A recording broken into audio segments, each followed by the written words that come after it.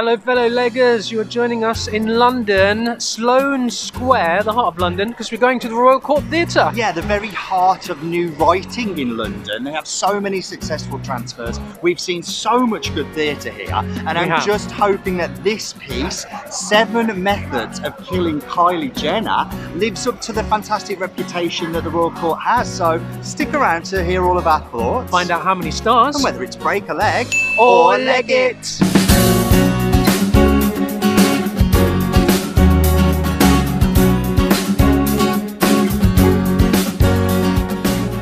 Well, we're back at the Royal Court after so long. I can't even remember the last thing we saw here. I can't Road, remember. maybe? No, we've seen something since. Let us know Oh, down below gosh, if, you, have if, a look. if you're big like your big stands of ours and you know you keep up with what we've seen. Let us know Come- what we how we've All I know is here. we've always had. There's always a good vibe here. Yeah, there is. And it seems if a lot of stuff has moved out into the square of Sloane Square in terms of drinking and stuff. They've got a really yeah, nice there's bar. a beautiful Royal Court outside bar, like Royal Court on the square here at the moment, which is gorgeous. I but hope it, does- stays. Yeah, it'd be not well. I, you say I hope it stays. On a day like today where it's dry, it's very muggy though. is It's what I would say. unpredictable in But yeah, UK, you can't always have Well, an outdoor space in England. reliably. Anyway, Yes, um, I would say it definitely feels to me like COVID is over. Like it's just so. Uh, there's so many people on the streets. I remember when we came here in the break last year when we could go to theatre for a while, and it was deserted. still a ghost town. It was, but it no more. Heart is thumping London here in London. back, and if you are all up for the return of theatre, then you're lucky because it's. I think it, I feel like it's a juggernaut now. It's Okay. just going to come barge. You want to know about the piece? I do. Do I want to know about the piece. Right, so We've got to go in soon. Seven Methods of Killing Kylie Jenner is a brand new play that had a bit of a short run last year before COVID shut it down. It's just the gendarmes. Um, before, because I mentioned the word killing Kylie Jenner, they've bugged us. They think we're going to do it. We're not going to do it. I had a short run pre-COVID, and then it, it may have even had a broadcast. I might be making that up. I don't Oh, know. really? But Let us know down below. uh, but it's back to finish off the run it should have had back way back when, and it explores cultural appropriation, queerness, friendship, and the ownership of black bodies, both online and and in real life. It sounds interesting. Sounds current. Sounds up to date. It's Okay. very much about the WhatsApp, Instagram age, immediacy of news going out there, jumping on causes. Very appropriate for now, is what I would say.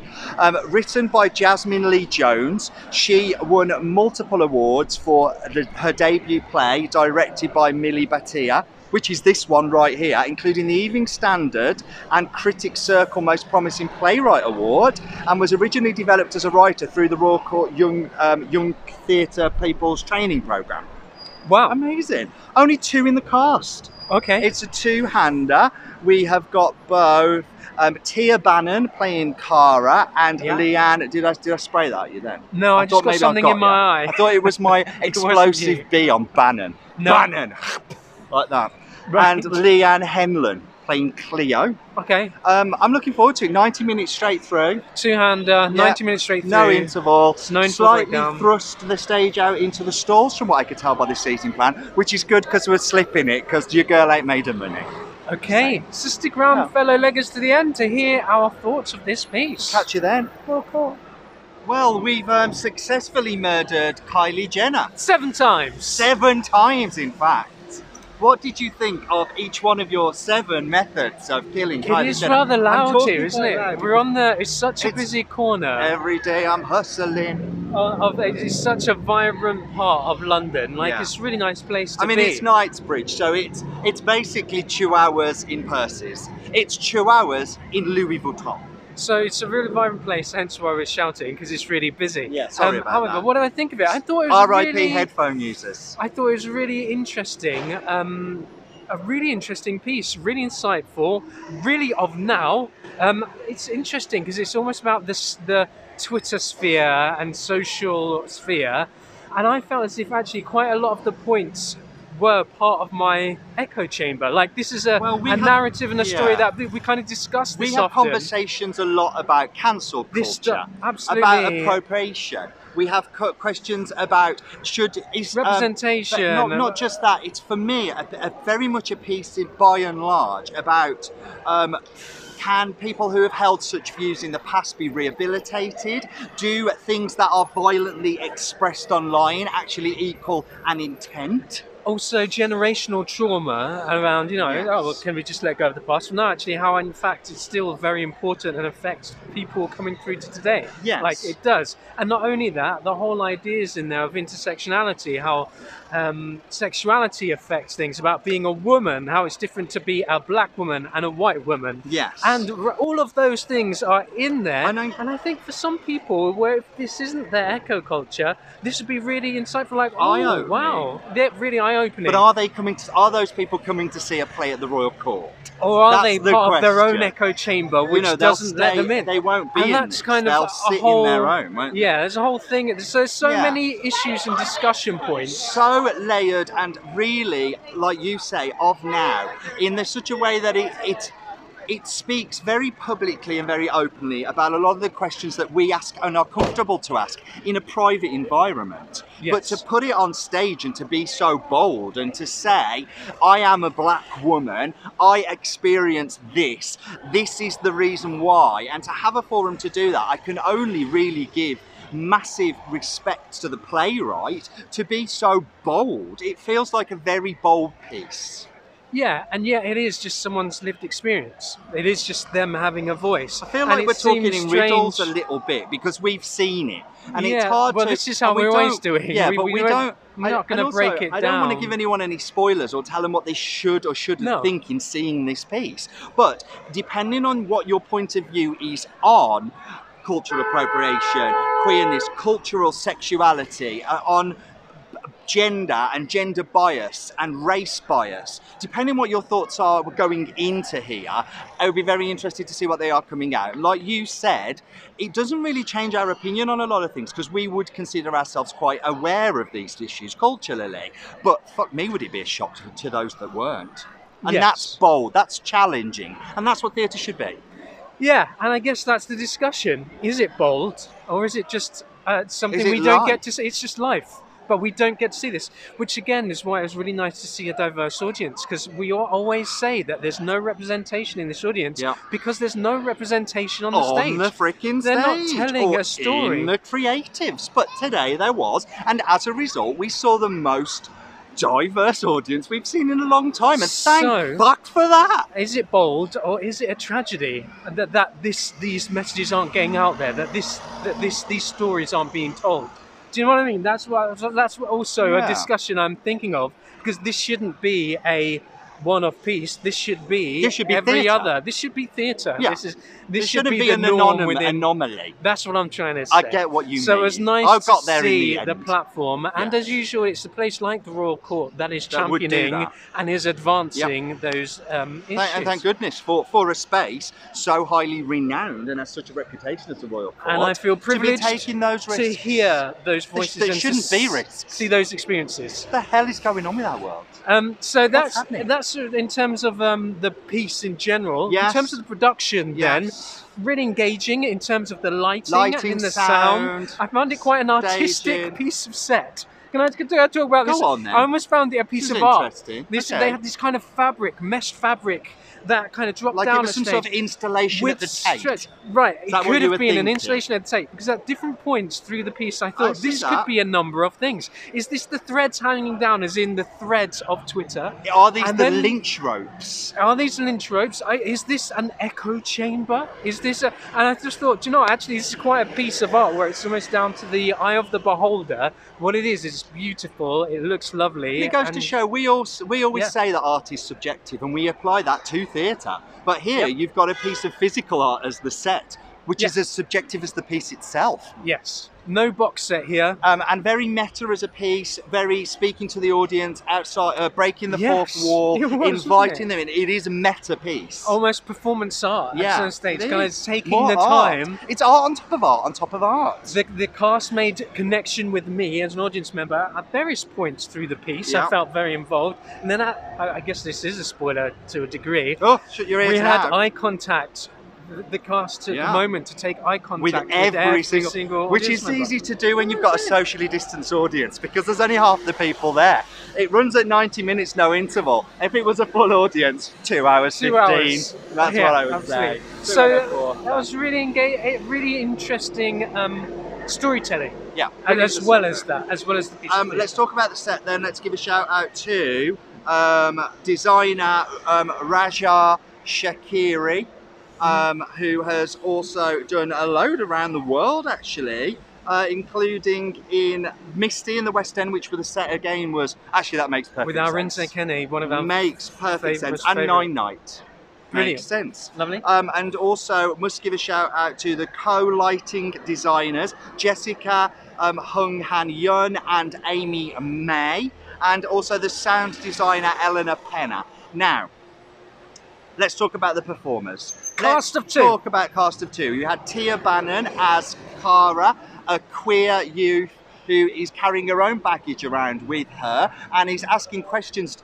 just does my baggage lay less than less than your baggage just because my experience doesn't echo yours um, for a really, really energized performance. It's a really difficult piece because not only are they themselves as a single cast member, but then they take on the voices. The sun has come out and I'm being of blinded. Twitter of They the talk- Twitter or They take this on. never happens in. London we're not prepared for sun The um, they take on the voices of different Twitter um, threads and different. So they're putting on different accents, uh, but then well, they're also putting performance into them.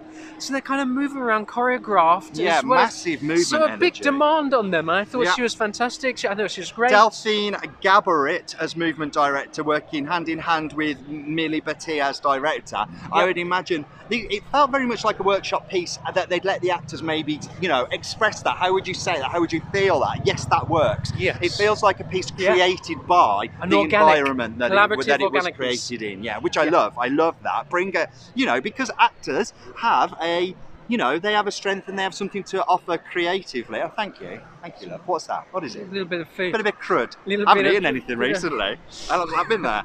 Um, but yes, I think it is important to invite the actors in creatively as well, and they, I can clearly see they've done that here, so that is great as well. And that's what we're assuming. It had that Yeah. feel. It felt very I'd be very surprised if it wasn't. And Leanne Henlon as Cleo. I really liked her. I, I, I thought she was there got some real. cough, but I've not got COVID.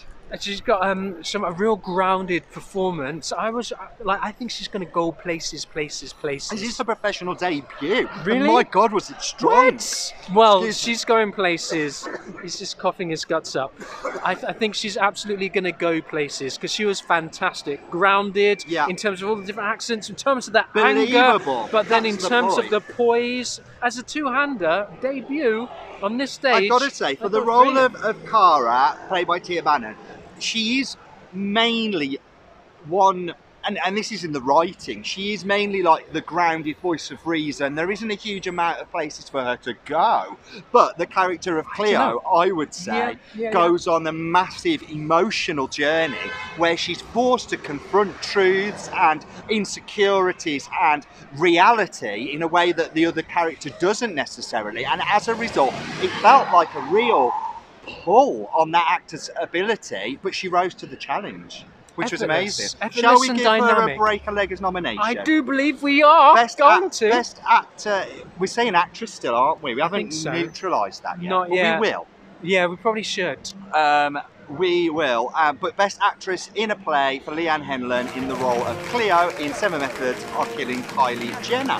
Yes. What a I- professional I think she's one to debut. watch, Blow really us away, love. Blow us down places. Right. Let's wrap it up because we've gone on, and considering it's only 90 minutes straight through, Can I say I've said this before, but the Royal Court, whenever you pick up a program, the program is the text. Yeah. So you always come away with the text as well. which is incredible. How- I- for I the love same it. price, actually, for less than you would pay than a program in the West End, which is mainly I mean- adverts, let's face it. Yeah. So hey. Which is bonkers. But I guess you're probably wondering how many stars we are going to give Seven Methods of Killing Kylie Jenner playing here at the Royal Court. We, are going, to give to give four. Four stars for this piece. Not the full five, because in terms of production, there were elements that you said you felt might have worked better with different performers or different Oh, voices. There's that sometimes. would have been a bit ah, yeah, a we didn't talk about this. Sometimes We're in the echo chamber, I forgot about this. In when the they are Twitter being the Twitch sphere. I lost some of the text. Showing you now. It looked fantastic, and what they're doing, I thought, yeah, that's good, but I'm not catching it. I don't know what has been said here. Oh, and also, do you know, it's probably showing my age. It's written really well, loads of acronyms, almost as if it's a Twitter conversation or an online WhatsApp message conversation. I didn't get it. ADF, HDC, E- EDT. Some of it I got. HRT. And some of these, I was like, this is too quick. I, I, I need to, I need to write some of these down. So I think potentially accessibility-wise, but I just thought, do you know, Go what, this and is look the 'em up language. now, yeah. But I don't know what I'm looking you at. You can have a read of this. That's what this Why is. was it for? Yes, it is. It's, There I've got it here. I don't know what they suddenly were now. You've just been promoting how you got I've, the text. I've got the text. You I can read go that on the way home, love. Why was it for you? Four Why stars. was it for me four stars? I think you're. I don't know whether in terms of production, and it probably wasn't the point. It, I, what I found really interesting about the play, the play text is it has gifs printed into it. Um, that they acted out at certain points, but unless you're familiar with this text in the first place, you're familiar with this GIF or this image or this meme, it would have been a little bit lost on you without the visual, I feel. So it, maybe if the production for me would have been a little bit more Dear Evan Hansen. You wanted TV screens. I want the what's the Is that what you're the, saying? What's oh, the projections. Yeah, You want know, projections out TV of the diamond, into the bed of a falling new that that that. Okay, there we go. So that's what you wanted to make it five stars. Okay, but hey, that's totally just what he thinks. What do you think? Let us know down below. Have you seen it this run, pre-COVID? Is there a broadcast or something? Have you've seen it online? Let us know. We'd love to know. Down below is where you go. Hey, And hit subscribe while you're there, because I'm like I'm riffing and I'm tweet. I'm I'm like rhyming for England. we're in London this weekend, so we're Yeah. off later to see a show at the bridge. So stick Yeah. around. Make sure you subscribe Check and out share our your thoughts. videos. We're the Break A Leggers. And we'll catch you again soon. Bye.